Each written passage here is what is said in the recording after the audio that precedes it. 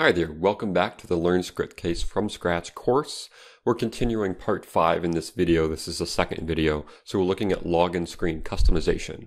So we have a lot of customization options for the login screen. Let's go ahead and look at some of them and get started with this. So as you can see, we're in part 5 of this with the security and logging modules here. Um, and we're just about done with this course. So um, you want to make sure that um, your users feel like the system is part of part of the company. So one easy way to do that is to customize the login screen. So we're going to add a music related image. Uh, as you can see, we're using Global Music Supply as a fictional case study to guide us here. So we're going to add an image. So maybe this is like a, a wallpaper that wallpaper that you have um, on all of your on all of your company computers, or maybe it's a it's a logo or something. You can brand this however you want, and it's very simple, very easy to do, and you don't need to know a lot of code to do this. So let's go ahead and go over to our development environment and start modifying our login application. Okay, so as you can see, here is our login application that we created in our last video with the security module. And there's an image and some text over here, which is kind of generic. So we're going to change this area of the of the login application. So here's our application that we can modify. And if you remember, we set this template. This is a pre-built template that came with Scriptcase. Let's go find that. So if we go to Tools and External Libraries, we can look in that folder system. So we enabled the samples library, and that's where the template is. We can click View on that to see um, see that see that code. We go in the login folder, and then login three is the, the template file for that. So as you can see, we have an HTML file and here we have that background image right here. So that's pulling that sample login to JPG from the, from the login images folder. So if we go back, we can go to the IMG folder and, and access that. But we need to first copy this. Um, as you can see, we can't edit this, edit this, so we need to copy it here. So save as um, samples, let's call it GMS here. And then we can save it in a public scope or a project scope, scope Let's save it the project so it's only accessible within our within our project. And then it's saved. So now we need to scroll down and find it here at the bottom. Click use library, right like so.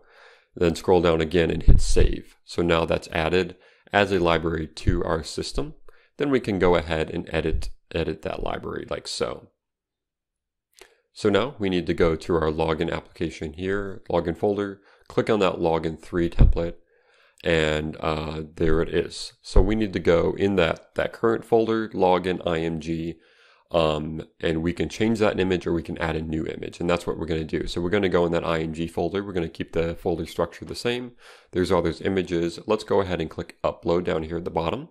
And I'm going to select an image I have right like so.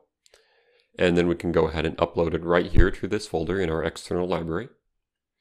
And there it is. Let's go ahead and rename it so it's a little bit easier to access here. Um, so I'm going to change this name uh, to something else. Let's do GMS background like so.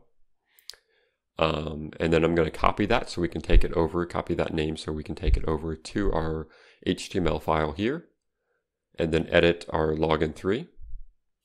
And we're just going to change that file name to the file name reset there. And now that is set the background. And then there's our sign in option in that text. Let's go ahead and change that text. It's easy enough to do. Um, just put inside of a p tag so we can just change that to welcome to the new inventory uh, system. And then let's leave it there um, for the changes.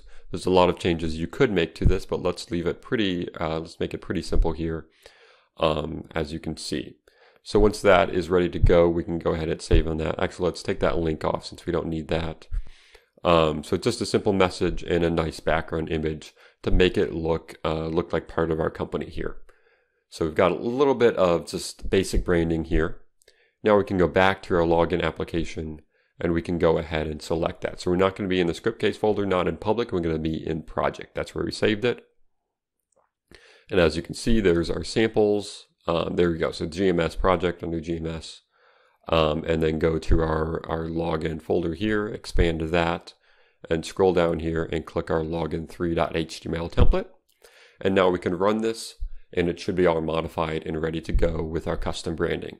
So wait for the generate and go over there. And as you can see, there's a custom uh, background image with our with our custom messaging as well. So that's how you customize uh, the login application in Scriptcase to make it look like more part of your organization.